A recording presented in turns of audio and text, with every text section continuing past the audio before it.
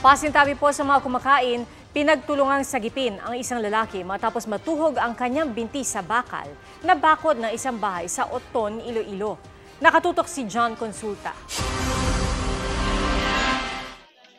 Makikita sa video na nakabaligtad pa ang katawan ng lalaking ito habang nakahawak sa grills parang hindi tuluyang mahulog. Ito ay matapos matuhog ang kanyang binti sa bakal sa pader ng isang bahay sa Barangay Poblasyon, South Oton, Iloilo. Kinilala ang lalaki na si Jenner Magallanes na dating caretaker ng nasabing bahay. Mahigit kalahating oras ang hinintay ni Magallanes bago makuha ng responder at mga barangay tanod. Dinala siya sa ospital na nakasabit pa ang bakal sa kanyang binti. Pag abot na mon dere pag-inform sa amon sa ngamon is kay uh, chairman nga nasiling siya nga siling niya nong liyo koresponde sa Bagroy kay may makawat. So pag abot na mon dere gin flashlightan ko.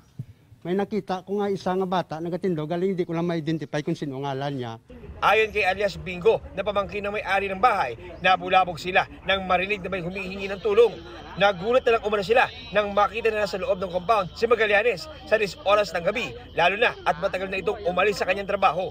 pila kasi kung may nagasinggit nga pangayo bulig so pagkuan ko nga gataas gataas ang tingog nanaog na ko kagin check dito na kuan nakita ko siya nga sabit na sa sa ano sa sa fence namon Patuloy na nagpapagaling sa ospital si Magallanes.